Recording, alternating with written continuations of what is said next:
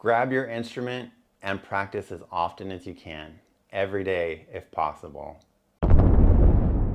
Hey everybody, my name's Mark. Welcome to 2000 Hours of Banjo. If you are new here, my name's Mark. This is 2000 Hours of Banjo. It's a channel dedicated to tracking and documenting my progress in the first 2000 hours of learning how to play this instrument, the banjo, as an adult beginner with no prior music in my past whatsoever. The first hour I, I practiced on this instrument was the first hour I have ever done anything musical in my entire life. And there's two main reasons for this channel. One is to see if I actually can achieve some level of mastery after 2,000 hours of practice. And two, if I do, if I can do it, so can you. 2,000 hours, where did I get that from? At the internet. I went to the internet. When I got this instrument, uh, it was a gift from my wife at the end of 2022 as a Christmas gift. Um, I immediately looked up, it's like, well, how, how long does it even take to learn an instrument? And the wise internet told me, eh, after about 2,000 hours-ish of practice, you should be about intermediate, high intermediate level of competency, you know, good enough to, you know, play with others and such. So, and that being my, my midterm goal with this, I set, okay, 2,000 hours with the idea starting January 1st, 2023 to practice every single day for about an hour, which I have accomplished with some exceptions. There was a long, very, very long three and a half month period that I had to take off at the end of 2023 due to an injury to uh, one of my fingers on my fretting hand. And then, but besides that, I think I can count the number of days of practice I've actually missed on easily on one hand. It's probably been two or three times in the past. Uh, it's been over a year and a half now. So only two or three times have I actually missed a day unintentionally. The other time, that three month period was to allow my, my hand to recover. Now, what I want to do today is go over what I do in my lifestyle to help encourage me to continue to practice every single day. Because I will tell you, even though I'm enthusiastic about this adventure, there are days when I'm less than enthusiastic about playing the instrument or practicing. So let me, without further ado, let's go into the six. Uh, I've got some placards here, so if I look down here, I'm looking at my little cue cards. Six, six and a half-ish tips that I have, that I follow, that help me get in here and grab my instrument every day. First of all, actually, before I jump in, Go back to my last video, I'll link it below, where I discuss how even just five minutes a day is actually really helpful in practicing. And that will segue into tip number one, let's call it 1A, time related. We want to, or what I do is, even though I've told myself that I want to try to practice a minimum of an hour a day, on the days that I'm really struggling to get in here to practice, I lower that that barrier to entry to five minutes. It's like, I'm just gonna practice for five minutes just, as, just so I can say that I grabbed the instrument and I practiced today. Now again, five minutes is not chump change. You can actually achieve significant progress with only five minutes of practice if you, can, if you practice every day. But the idea is to lower that barrier to entry. If I have the mindset that I need to set aside a full hour, I may not get in here and grab the instrument. Instead, I say just five minutes, I go and I grab the instrument and start practicing. And I will tell you that that mental barrier, lowering that mental barrier so it's not a barrier anymore, really helps. And I'll also tell you, I've never practiced for just five minutes.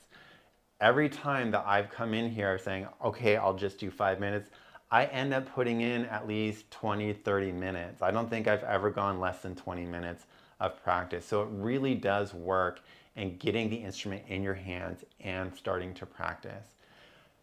Tip number 1B, also time related, is going to be to set a schedule. A daily schedule where you can build the habit that this part of the day, you do it enough, you, your body, your brain is like, it is, it is practice time. It's kind of like for those that that's uh, like I do, and, and maybe this doesn't happen to everybody, but for those that wake up right before your alarm goes off in the morning, my body's programmed to get up at 4:30 in the morning. So at 4:29, I'm up a minute before my alarm goes off. So the idea is the same with this, where if you grab your instrument every day at about the same time, it is it just becomes habit, like brushing your teeth or waking up to do that thing at that time, which would be to practice. And it doesn't have to be a set time necessarily, like five o'clock or six thirty or something like that. It could be after work. Like the first thing you do after work is you go in and you start practicing. Or the first thing you do after you eat dinner and do the dishes is to go and practice your instrument. And here's a tip that's going to help quite a bit. You want to get everybody in your household on board with this practice schedule. So let everybody know so everybody has the expectation, oh yeah, when Mark comes from comes home from work, it's his practice time. That's Mark's practice time. Or right after dinner, that's Mark's practice time. So let your spouse know, let if you have kids in the house, let them all know that, that when your practice time is expected to be every day. That does two things. That lets everybody know to kind of leave you alone to do your practice. And two, if you don't practice, it's like the shame train where you're going through the house and everybody's saying is like, are you skipping today? No practice today for you? And I was like, fine, all right. And that turns you around on your heels back into your practice room and start practicing. And that's a nice segue for tip number two, which is to have a space dedicated for practice. This is my practice space. Yes, I co-opted a part of my gym. So there's a little bit of a corner here that I carved out and made my music practice space. And this is where I practice probably 90% of the time. Yeah, sometimes I'll practice in the back office if my wife is trying to watch some TV, or I'll practice in the backyard if I want some a little bit outdoor practice. But primarily, this is where I practice. And there's a couple of key things that I do with my practice space to encourage me to come in here and practice. One, I make it very comfortable. I've got my my sweet banjo throne. I've got my music uh, stand. I've got my instrument stand. I have a little table over here with my metronome and my tin that I keep my picks in and some other stuff. And it's all comfortable, cozy, and inviting. The other thing, the other important thing, key element of your space is to have everything at the ready. I've got my, my tab binder here, my instrument in the instrument stand, not in the case, my tin of picks, the lid is hardly ever on it unless it's in the case and I'm traveling with my, my banjo. Everything is out and at the ready. Again, the idea here is that low barrier to entry. If I am running hard on time and I want to just, okay, get in there and just do five minutes, well, guess what I'm not going to do if I know it takes 15 minutes to set up my practice area? I've got to drag the, the instrument case out from underneath the bed, open it up, bring, bring the instrument out, set up a chair and stuff like that.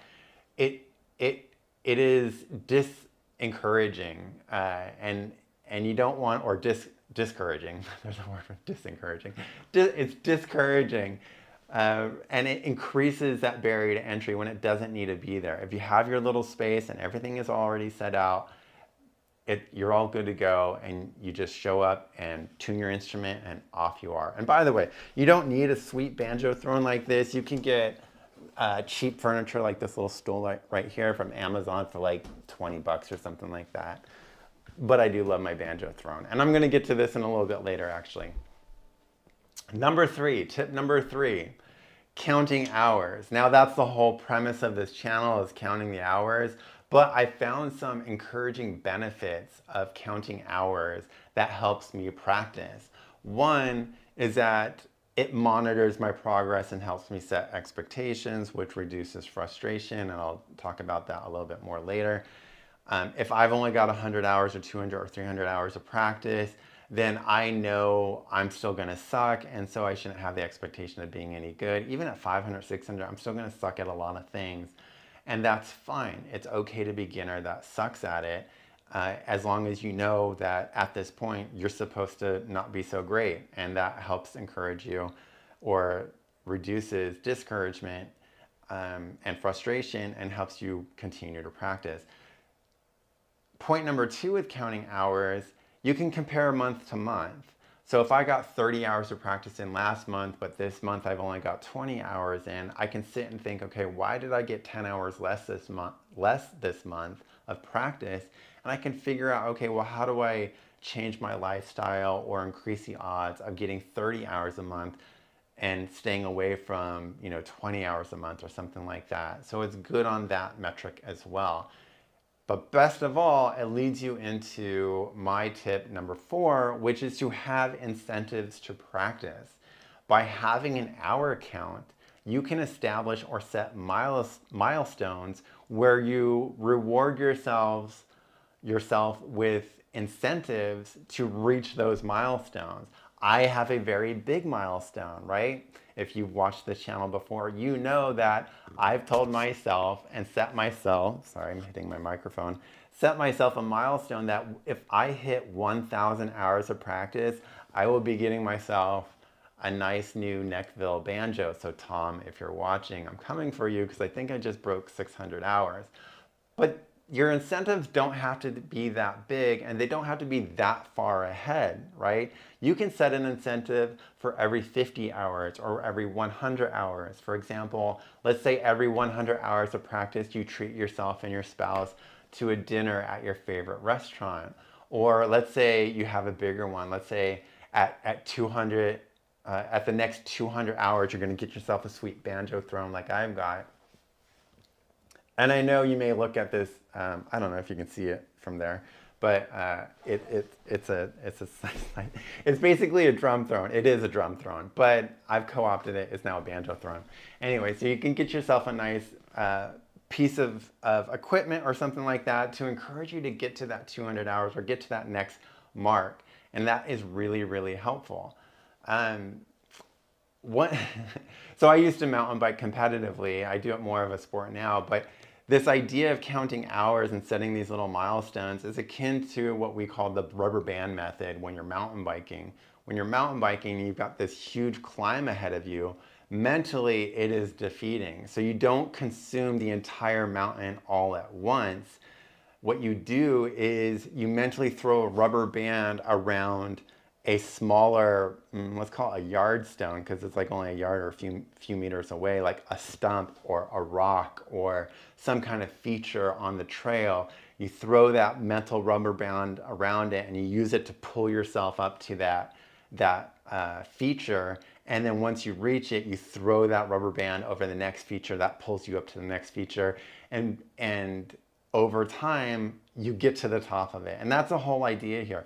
We are embarking on a years long, thousands of hours long goal or feat to learn how to play an instrument and looking at that is quite intimidating. Use the rubber band method. Count your hours, set these little milestones, reward yourself as an incentive, and that will encourage you to get to the top of that mountain.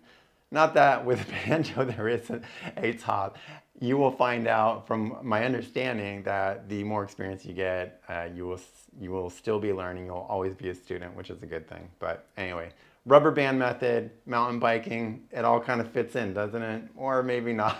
anyway, tip number five, let's move on. Tip number five, get an instructor. Now, yes, having an instructor has face value in that an instructor is an experienced person that's going to help teach you how to play the instrument, teach you how to play songs, and help with your progress and learning how to play in general. However, there's some intangible or secondary or collateral uh, incentive to having an instructor that will help you play the instrument more or practice the instrument more often. One is monetary, right? An instrument or instructor costs money and you don't want to be throwing money away, especially in today's economy, right?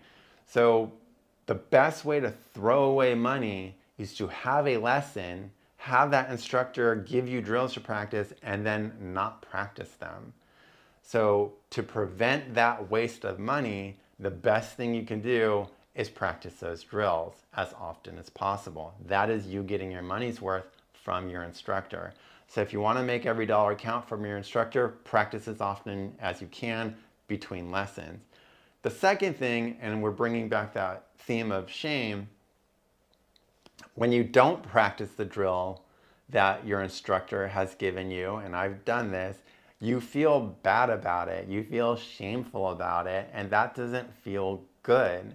But again, you can take that shame and turn it around to influence better habits and better practices and actually use that avoidance of the shame to practice more. So that would be those this collateral benefit of, of having an instructor, the monetary reason and uh, incentivize not to be shamed in front of your instructor when it's obvious you haven't been doing the drills he's been giving you and it feels really bad. Let's move on to tip number six, which is let's try to have fun. I get it. Practice is practice, right? Uh, drills are drills, highly repetitive, not very fun, monotonous. It is what pushes towards improvement. That's obvious, and there's probably a lot of studies about that. But repetition is key to improvement. But in order to continue to practice, to want to practice, some aspect of it has to be fun. So I encourage you during any practice, or every practice, I should say, to have a portion of that practice set aside to just have fun. Play the songs you want to play, play how fast you want to do it, doesn't matter. Noodle around, experiment with the instrument a little bit. Anything that's just not a drill, something that you like doing, something that is fun. All right, those are all my tips. You're gonna see if you listen through this again, that there's a couple of themes here. I think the two main themes here is one, we really want to lower that barrier to entry that's going to encourage you to come in to your set space, grab your instrument and just get it in your hands. Once this instrument is in your hands and you start picking away, five minutes, 10 minutes, 15, 20 minutes, it'll start passing by really, really fast. You'll be amazed that, um, that promising yourself a five minute practice turns into a half an hour practice just like that. The other thing is do what you can to encourage the behavior, encourage the behavior until it becomes habit and remove or reduce as much discouragement as possible. So get the household on board, get your set time, get your set space, have your instructor, have your incentives, count your hours, and then have fun. And just as a last note, I know, like, not all of us can do daily practice. You, you practice as frequently as you currently can right now. But try to implement some of these tips to see if you can increase it more so than what you're doing now. It doesn't necessarily have to feel be daily and don't feel bad if you can't do daily practice. Practice is practice. You will get better as you practice that is guaranteed. It's when you stop practicing, is when you stop progressing. But do, just don't feel bad as you can't get practice in every day. This, these tips are to help encourage more frequent practice. Yes, daily practice would be the ideal. It's a goal that I've managed to achieve and hopefully I can keep up, but it doesn't have to be daily. Just try more often than you are currently doing. All right, that's it. I've got some practice to do. I've got some more videos to make, honestly, because I did break 600 hours, so it's time to make some more videos. I will see you next time. Thanks for tuning in. Bye.